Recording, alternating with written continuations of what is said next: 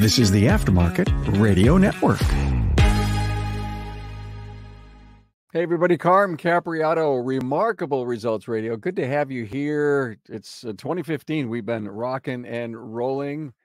Wow, you add the Aftermarket Radio Network in there, Travis. We've got a couple of thousand episodes out there, and we haven't missed a beat. And we continue to rock the world with personal and business professionalism and acumen. So, good to have you here. Travis Troy's with us.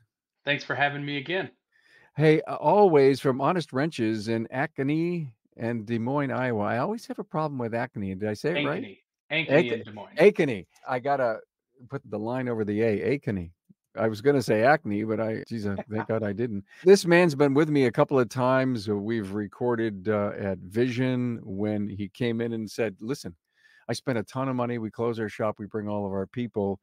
And I really enjoyed that episode that we did. So go to the website, remarkable.biz, type in Travis Troy, and listen to the stuff we've done together. It was sometime in the summer. I was really thinking deep about Travis and what he is going to plan to do for 2023, 2024, as far as the conferences that you're going to bring your people to. And I wanted to help set up for all of our shop owners and technicians listen, what does an owner go through as far as to think about who picks the classes? Are there any rules when you go to conferences, drinking, uniforms, language, who goes and who stays back? And uh, does seniority maybe have a place in the decision of who goes? So, those are the kind of things I want to ask Travis as we rock here through the what I'm going to call conference planning and the value for the entire team. So, how do you determine once say for example the vision list of the classes come out and you look at them and you say wow good stuff here. Who's going to what? Is it a group? Do you sit down with your partner? How do you pick the classes? Yeah so it's kind of become a holiday for us. When they announce you know vision registration is open our world kind of comes to a halt and we start get with our teams and with us having two locations now it's kind of a little bit of a balancing act but our store leaders and our shop foremans really kind of help lead the fort on that. And they are already kind of thinking about what classes each team member might need where their struggles are the opportunities that they have and they all kind of collectively sit down and go over hey here's the classes that i would like to go to. What do you think and they might sit down and look at them and go, you know, those are some really good classes, but this class over here is something that we've talked about in a one-on-one that you're really looking to kind of branch out to, say that that might be ADAS or hybrid or something like that. And you're really looking to gain some knowledge on that. So let's not forget about that. Do you think you should sit in on that class? And and they'll be like, yeah, or I did see that one, but I really would like this one better.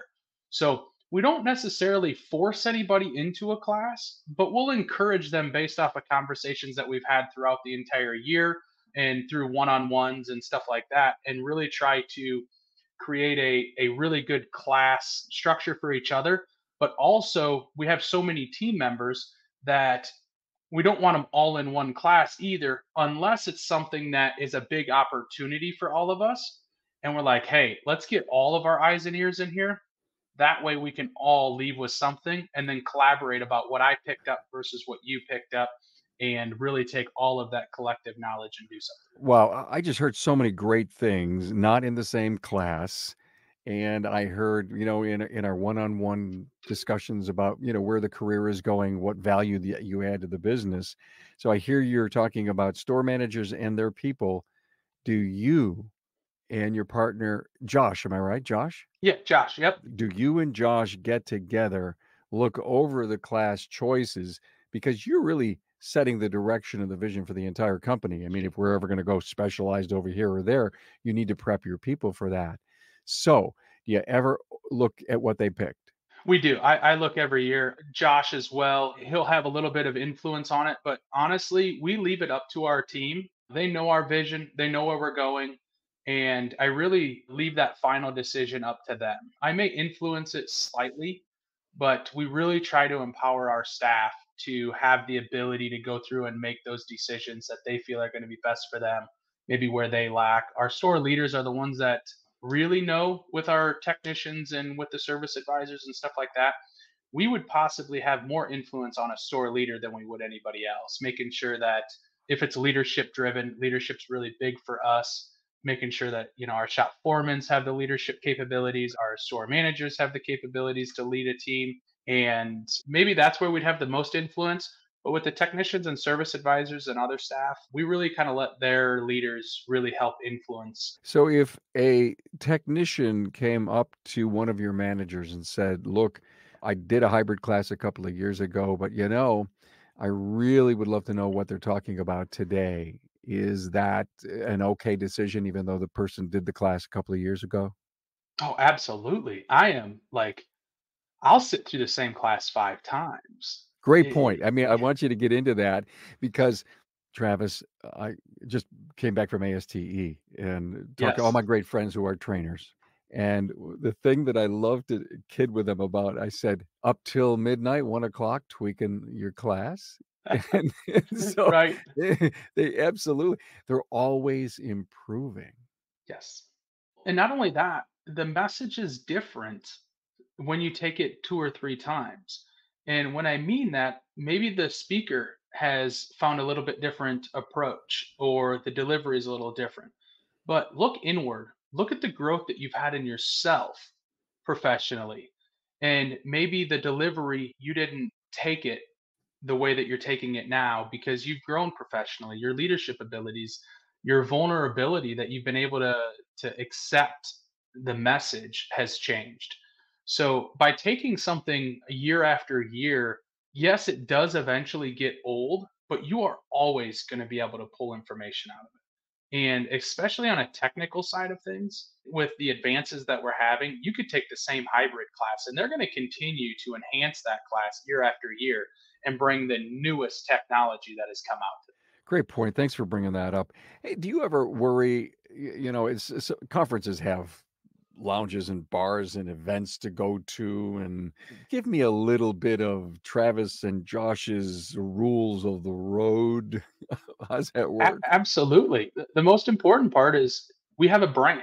We have a brand of Honest Wrenches, and we have a brand of who we are and how we present ourselves at any event, whether that is a local charity event, walking down the street in our town, or at a big training event such as Vision High Tech Training. How we present ourselves is is how people perceive us. And if we're not professional and we just think it's one big party, then that's how we're taken. So, yes, we absolutely do have an image that we strive for. Do we allow our team to go out and have a good time? You betcha. That's what we go there for. We bust our butts all year long and we want to go out and have a good time, but it is just a reminder be professional. Okay. People are going to say things that you may not like. That's okay. That's their opinion, not yours. And in this industry, people are very opinionated on how your business should be run or what needs to be done. And, and likewise with training companies. I personally like all training companies. They're all out there for a reason. And I think that they make every single one of their shop owners and people that go through their training extremely successful. And a lot of people are very opinionated on that. And, and I just kind of ride the center line. I think they're all extremely good. They all bring their own positives and I guess negatives, if you will. It's just an opinion side of thing.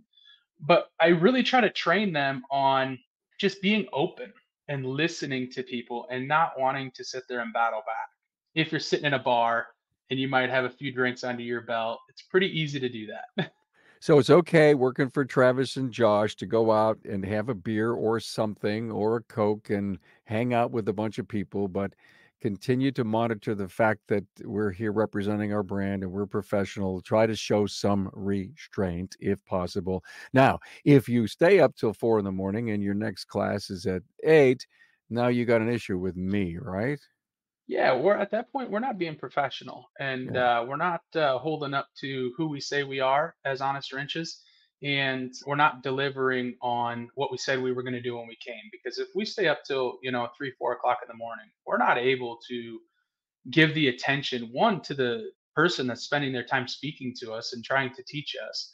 And two, we're not doing ourselves any good. You know, one of the big things that I talk about is how grateful Josh and I am that our team is willing to take the time to come to Vision, time away from their family, time away from their animals, time away from the shop.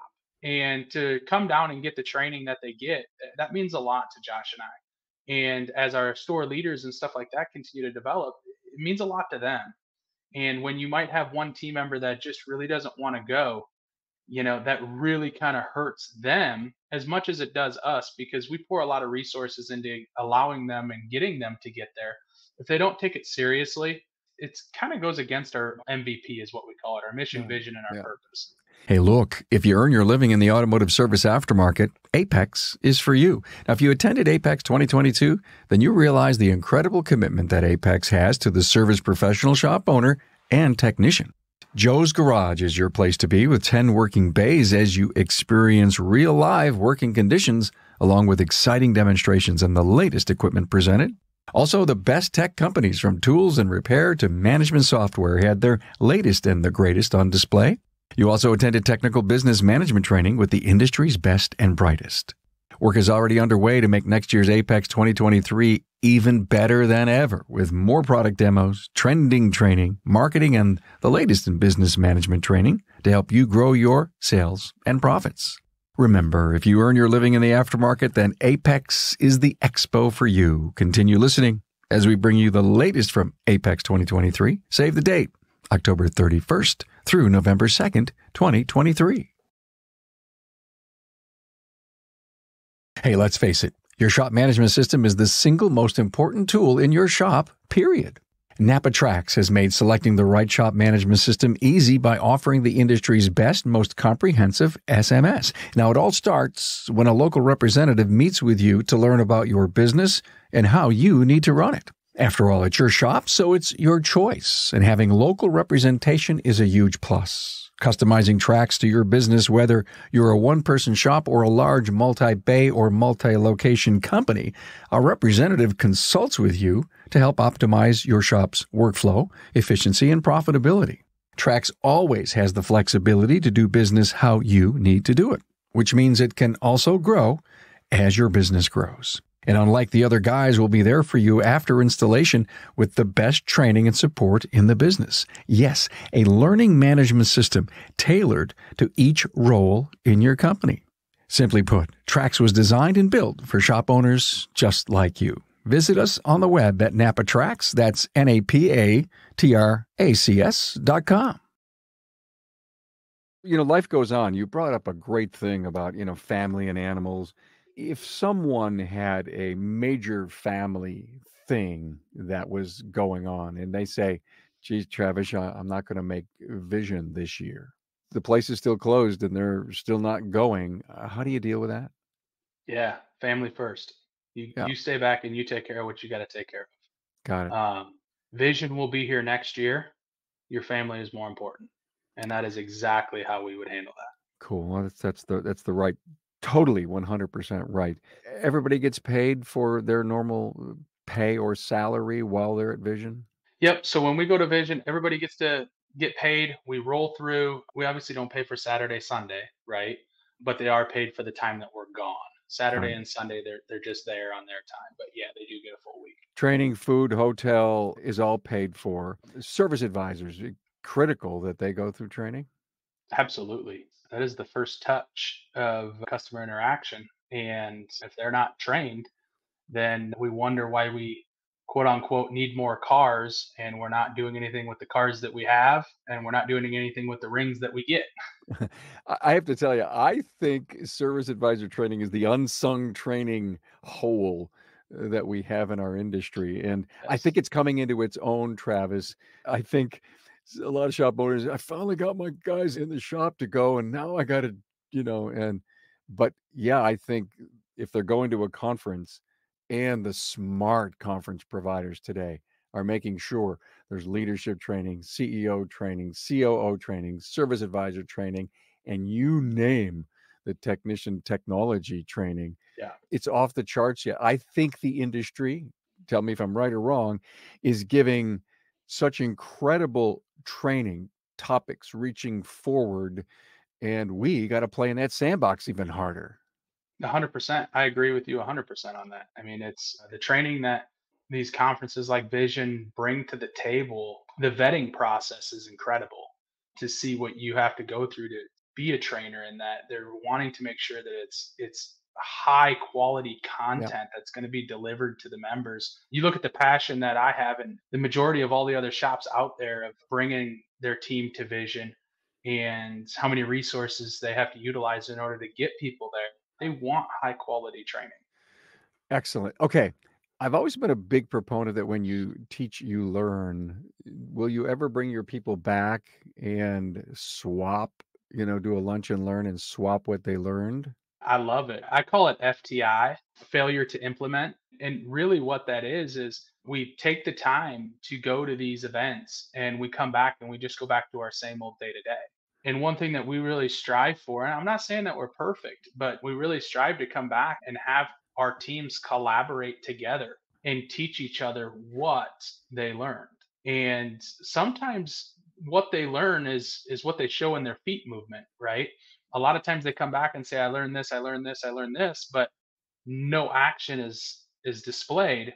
Sometimes the best teaching is watching somebody change instrumentally. In myself, with some of our team members that have been with us for years now, just to watch their development is absolutely incredible. To watch them come back from a training event like Vision and see just the leaps and bounds, I would pay 10 times what it costs me to come to Vision to see that every time, just because it's so awesome to watch their development. So if somebody was just starting out saying, Hey, I'm going to do this, I'm not 100% sure I could take the entire team. You know, I got eight. Yeah. What if I take three or four? What would you suggest to them as to who they would want to take? How would they rationalize that? Yeah, absolutely. If you're the leader of your shop, don't make that decision because then you're going to have people with hurt feelings. There might be somebody that was told they had to go that really didn't want to go, and somebody sitting in the background that wasn't really willing to speak up but was hoping that somebody would call their name. So, my advice would be to just open it up to your team and say, hey, we've never been to Vision, or maybe we are going to Vision and we've been there before. Unfortunately, I just can't take everybody this year. Is there anybody that just would feel like maybe they don't want to go? And allow them to speak up without feeling forced to have to go. Now, on the flip side of that, what happens if everybody says they want to go? At that point, you got to kind of figure it out and make it work. Well, know? there's this thing called straws. You draw straws, right? right. I mean, because... I really think it is. It's important that we all talk about developing our team, we all talk about training, and we never want to tell them no. Now, what's in it for me, what's in it for you is I'm going to bring you to training. Okay, that's what's in it for you. What's in it for me is you're going to take the knowledge that you've gained and apply it to our business. And maybe you have to take it a step further and have them, like we talked about a minute ago, teach the rest of the team and really, really spread that knowledge to everyone, whatever that looks like. But I would never recommend anybody to leave anybody out unless it's just absolutely economic economically uh, not doable. Or, hey, um listen, I really can't believe I want to close the shop, so I'm going to try to work with a half crew for a few days. We'll start here next year. If it goes really well, we'll take the other half. Or they realize alternate, or, or they realize the investment that they made, they should close. You told me we come back, they make up the revenue. It's never an issue. And, and yeah, but I it's think it's somebody's got to go, Travis. An owner and a few of his people have to go and come back, and then the light comes on. We can talk to her blue in the face sometimes, and they just they don't get it. Well, I've said this a million times, and I'll say it again. How many times have us owners gone to training and they come back and everybody's back there talking like, "Oh, what do we got coming back now? You know, so and so went to training again. What are they going to throw at us?" You no longer get that when yeah. you bring the entire team, because the excitement and the engagement that you get coming back, everybody gets coming back. And they all come back fired up. And if you want to move the needle in your business, see what happens when you bring them all. Because it's a it's big. Let's talk about the power of networking. I've always said to people if you're going to sit in a class, you should get the handle, the Twitter handle, the email of the person sitting next to you, right of you, front of you, back of you, that was sitting in the lounge. And would you ever give business cards to your people? I mean, let's talk about how networking should happen and how powerful it is. Yeah, absolutely. Every one of our team members has business cards already, and that has its pros and its cons. We've been, you know, culprit of, you know, people trying to, you know, go after our team and stuff at training events and stuff like that. And that's, in my opinion, part of it. It's not something that I see as a as a business practice that Can't um, we just all agree, Travis, that that is just something that shouldn't happen at any training event?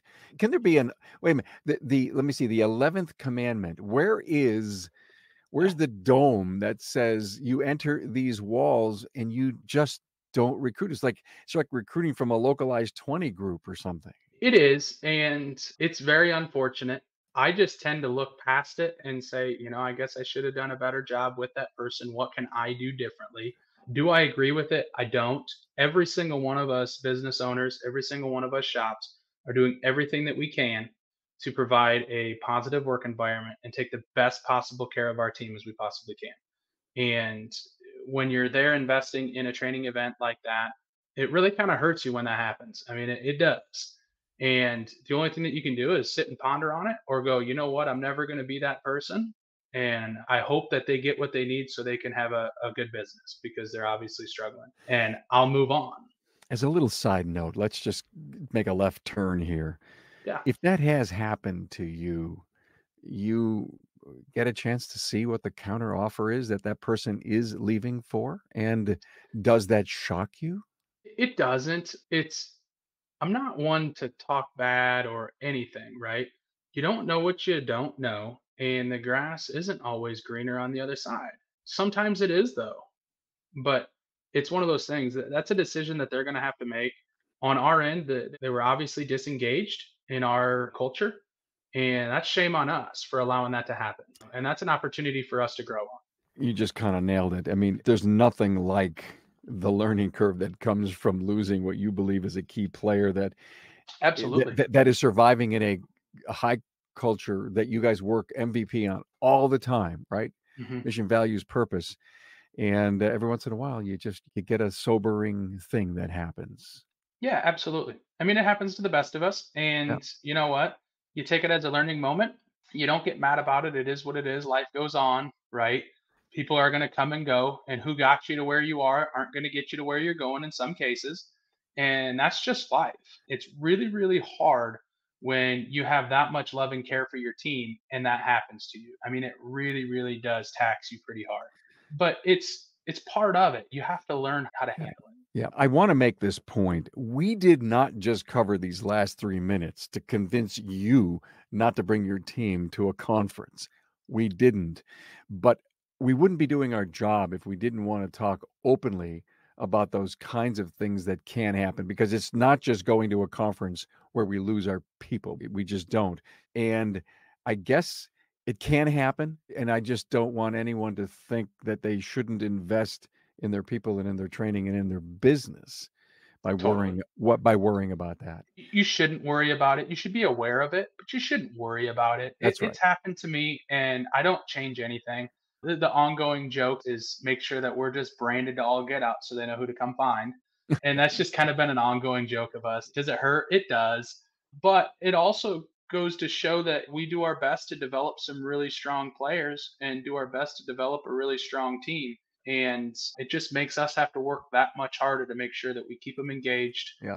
and we keep taking great care of our people. And at that point, it is what it is. Most times, they come back and just tell us what's going on. Like, can you believe that they did this? I can't believe they had the audacity to reach out to me. In a lot of cases, what it does is it kind of turns the tables on the person that's going after them and it reduces their credibility a little bit that they're willing to do that because we have a really strong, strong culture within ourselves, but also the passion that I have for this industry, it makes it really, really hard for us to gain people because if I know who they are or where they're coming from, I have to go to that shop owner and let them know. Unless they were released or something like that, then at that point it is what it is. But if they're actively working for somebody, I'm not going to put them in a bad position.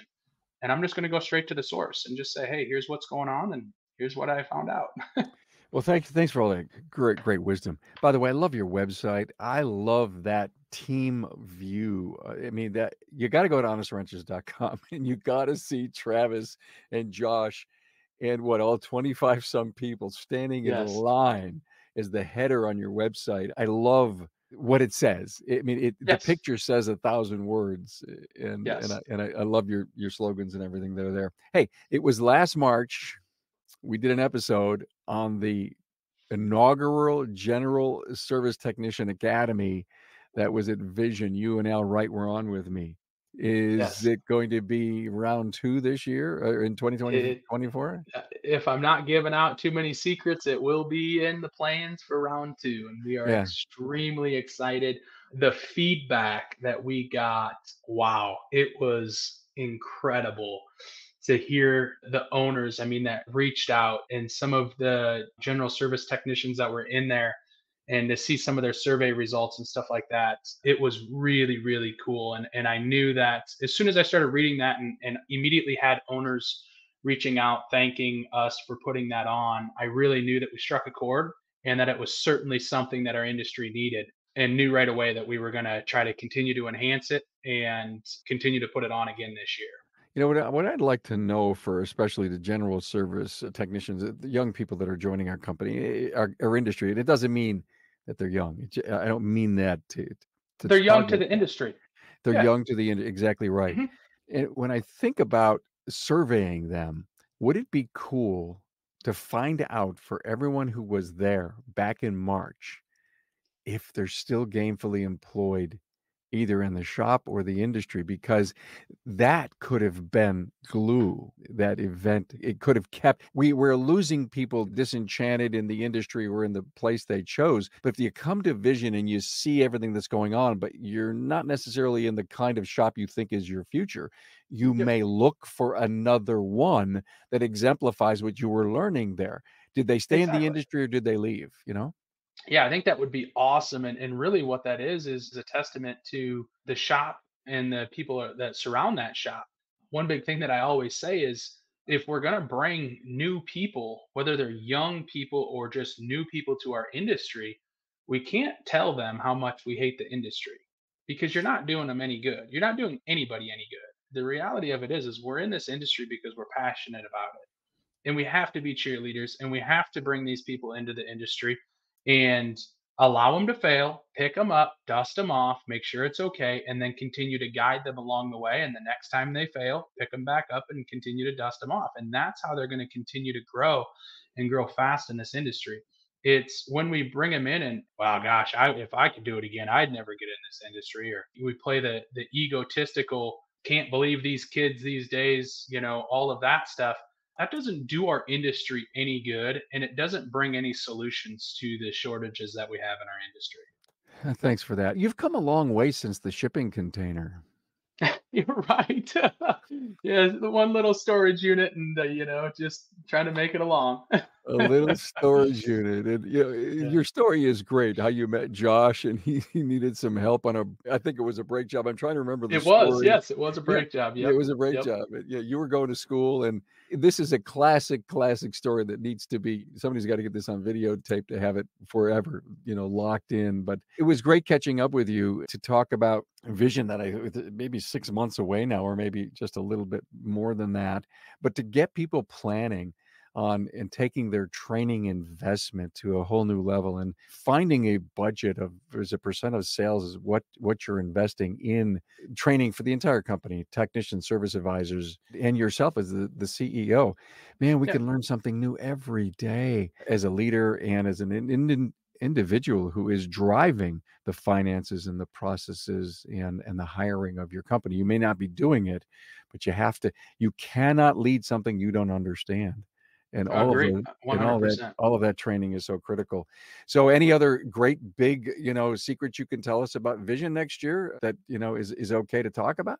Nothing right now. It will be signups will be coming out here in the next month or so, which is going to be really awesome. And the only thing that I can say is, you know, when you're talking about planning for Vision, start planning right away. As soon as Vision's over with, start. Uh, I have a savings account that I just transfer money into every single week, and we know about how much it's going to run us with everything, and we just transfer it over, and and that way it's not taxing on us. And like I always say, Vision is one of the most inexpensive training events. It's incredible how inexpensive it is, in my opinion, for what you get. It, it's just, it's unreal. And you just plan for it all year long and build that anticipation with your team. And when opening day comes, eh, like I said, it's a holiday. I mean, we just literally like, what are you choosing? What do you think? I don't know. I was going to do this, but I did it last year and I didn't get everything I wanted. So I'm going to do it again. And it's just a bunch of chirping going along that's it's so cool I, it's, it's, a buzz it's a buzz it is. yes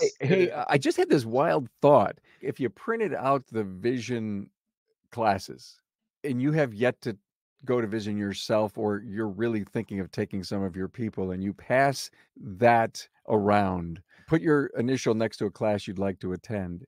To your point earlier is ask them who wants to go. Ask yeah. them what they'd like to take. And if you pass that around and let people realize that there's training like this available on a big national scale and look at the twinkle in their eye or look at what they selected and then incubate that. Hopefully somebody comes up to you and says oh travis this would be a hell of an opportunity. I know i'm a little deficient in this particular area. Man can i benefit and so can the company if i go. Yep. and yep. To, to me that would be almost like a staging opportunity to just lay it up and see what happens yeah, I, I agree 100%. I mean, that's kind of what we do. Uh, our team knows the process now, but it's creating vulnerability in yourself and Yeah. not hiding from where we have the greatest opportunity, but facing where we have the greatest opportunity and really creating vulnerability around that. That we're not perfect people, far from it, actually. And we have to just look for ways to improve and and we do it through training and leadership and you know development and stuff like that. A great final word thank you. Uh, it was great catching up to you thank you for your great wisdom as it yeah. relates to taking your team division and what happens pre during and post.